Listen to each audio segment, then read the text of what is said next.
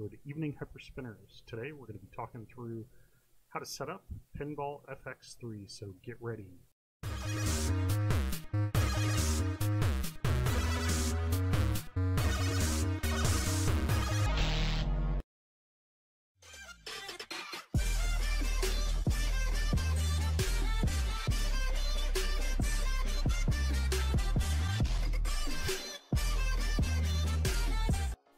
Alright guys, so Pinball FX3 is an update to Pinball FX2, uh, as you could have guessed.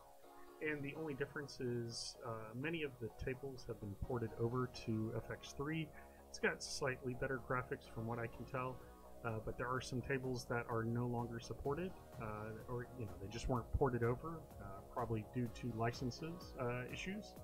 But there are quite a few new tables, so it is definitely worth uh, upgrading to FX3, but in my opinion, I've got both FX2 and FX3 set up still because there are some tables that I would be missing. I, I did think about combining the two wheels, but I figured, you know, I'll just do a, a, a system link to the media so it's uh, virtually free, if you will, for uh, uh, the size of the media. So yeah, let's go ahead and get started and we will get this thing set up.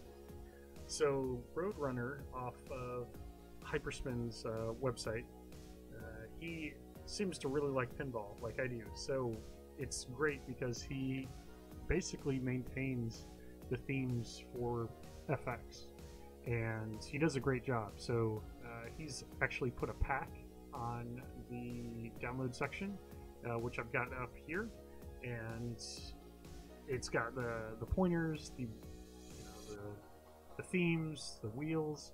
It, all it does not have is the videos. So the videos, I had to kind of dig a little bit, but I ended up finding them. And what I'll do is I'll include them on the FTP. Uh, I searched pretty much everywhere that I could think of on the FTP, and I could not find these, uh, at least the complete set. So what I'll do is I'll just drop it in the uh, Dojo folder under Media. Basically follow the same route path to your system and uh, that dojo folder should be the same. So it should be just drag and drop. Just find the media folder, FX3 folder, and you should be good to go. I also uh, tweaked the rocket launcher media, so the fade screen as well as the uh, the logo uh, displays just like the FX2 version does, at least for my system so I'll include that as well.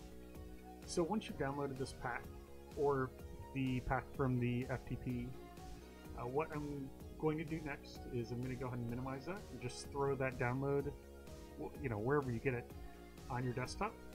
And what we're going to do is, just like always, we're going to open up HyperHQ. We are essentially creating that folder structure here. So go to Main Menu Wizard, push the plus sign, and add a sub wheel uh, the name to that subwheel is going to be Pinball FX3. You're going to push next a couple, couple times and it's going to congratulate you that you've completed the task. So then go to wheel settings and we will be up to speed here. So once you've selected Pinball FX3 from the dropdown, you're going to have the settings that I've got set up here.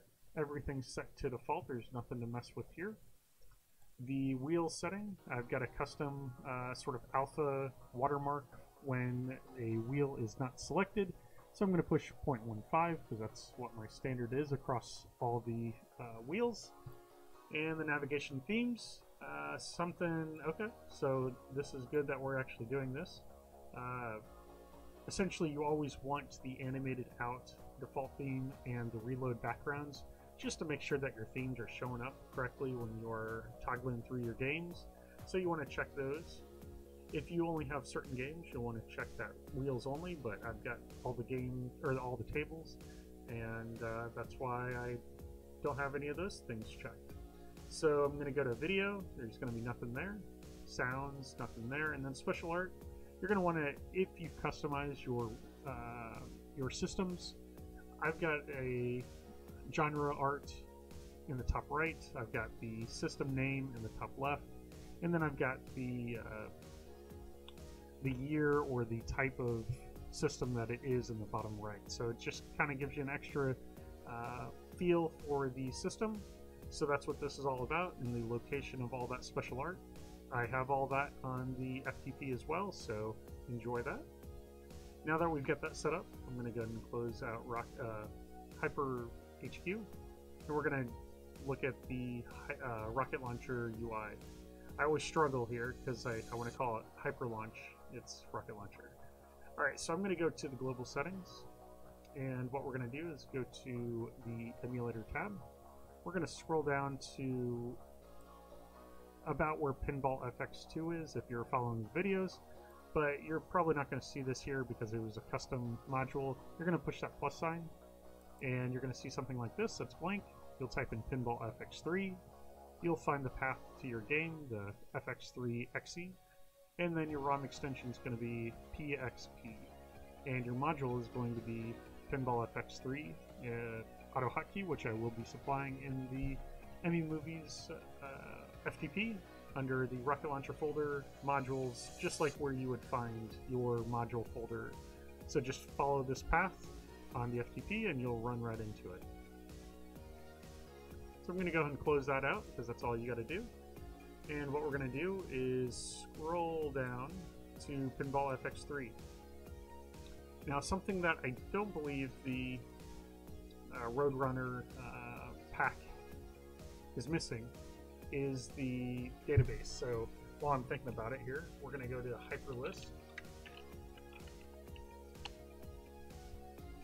And what you're going to do is hyperlist.hyperspinfe.com. You're going to scroll down to the bottom here, and you're going to find the Pinball FX3. And actually, when I'm thinking about it, okay, yeah, so it's not even on here. So what I'm going to do is I'm going to also include the database that I've got here. Uh, you can find this on the forums. I think ultimately that's where I found it. But what I also did was I added genres to each one of these.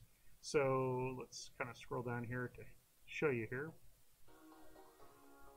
Yeah, I try not to do anything halfway, guys. It's it's all or nothing for me. So uh, there's Pinball FX, and I added the genres, so you can see that you know we've got you know the, the list of tables there. So I've got all the art, um, you know, for each one of these uh, genre arts as well as backgrounds. I'll be including that as well on the FTP, so enjoy that. I've also got a favorites list and then a favorites XML because that's just my style here. Uh, I like an editable list of favorites as well as a non-editable. So um, yeah, that is the databases. You'll want to plug that into the database folder in Hyperspin in order to see your games. So let's go and finish this Rocket Launcher UI settings uh, here. You're going to go to set the settings tab under main settings and you're going to just follow my lead here. Everything's set to global. Skip checks is set to false. And then bezels, I'm going to turn that off because I want a full screen for the pinball games. And everything on the bezel tab is set to default. And then we're going to check that fade general. These, remember, these are the three tabs that we care about on every setup.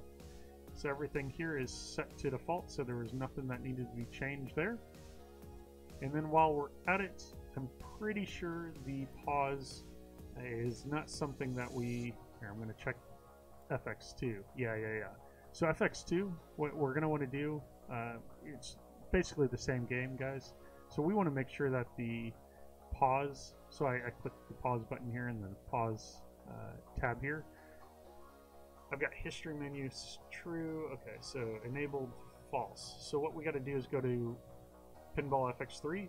We're going to go to the pause tab and we're going to set that to false because pause does not work with uh, Pinball FX3 or 2. So that is the only extra thing that you guys aren't used to seeing me doing, uh, just because I, I just knew that needed to be done. So we're going to go back to the settings tab. We're all set there. And now we're going to go to the emulators tab. You're going to check the, uh, the game path. What you're going to do is find your Pinball FX3 folder. You're going to select data and then Steam. That's going to have all your table lists. And then your default emulator is going to be Pinball FX. You're just going to hit that magnifying glass and click that based on the setup that we just had uh, created. next we got to go to the modules tab.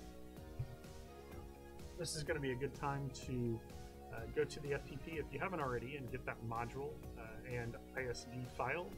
And what you'll want to do is drop that in the modules folder under Pinball FX3 so it will show up here. If it doesn't show up after you drop it uh, in the folder, you're going to push that uh, refresh button. But what we want to do here is just click on the little orange header paper icon, the Edit Global Module Settings, and you're going to just check the offline modes and set that to true. So that's it, guys. And all you've got to do now is if you want to launch the specific game, uh, you know, from these XEs, then what you need to do is get the uh, cabinet code. And since I'm also waiting on this, uh, they're generally pretty quick about this, and uh, you know, I'll just show you what I'm talking about. So, uh, otherwise, if you don't have the code, it's just going to launch the XE. But once you unlock the um, the cabinet code, which is tied to a Steam account, um, you know, eh, they just want one to one. I think what they're trying to do is they just want to make sure that you're not like at an establishment and you're selling like their games, sort of thing. So, which totally makes sense. But what you'll see is uh, this here. So I'm going to go ahead and launch this. Uh, if you do have a cabinet unlock key already, uh, it would just launch that specific table. So it's just like Pinball FX2. In order to do the same thing, you had to have the cabinet unlock uh, key, which you just ask, and uh, they'll give it to you. And I, I, guess we'll pull that website up as well so you can uh, easily access it. So we're going to go and launch this table, kind of check out the media. This is actually the first run here, uh, so the logo looks pretty good. So there you go. So instead of opening the XE, it would actually open up the table if you had that unlocked. So what we want to do here is just go up to the top here and click the uh, sort of pinball icon, and then you'll just type in the code once they send it to you. Uh, you can click contact us, but I'm going to pull up the, uh, the, website so you can actually see that. And uh, yeah, you guys have Pinball FX, uh, you know, set up in, I don't know, probably less than 10 minutes. Uh, so what we're going to do is say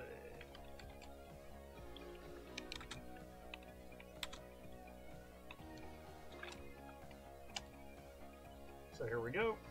If you go to pinballfx.com, I'll put the link in the description below. Uh, but it's got some, you know, FAQs of what, you know, this cabinet mode is all about. And uh, yeah, you just end up contacting them uh, via email, and uh, they'll send you a code and uh, lickety split.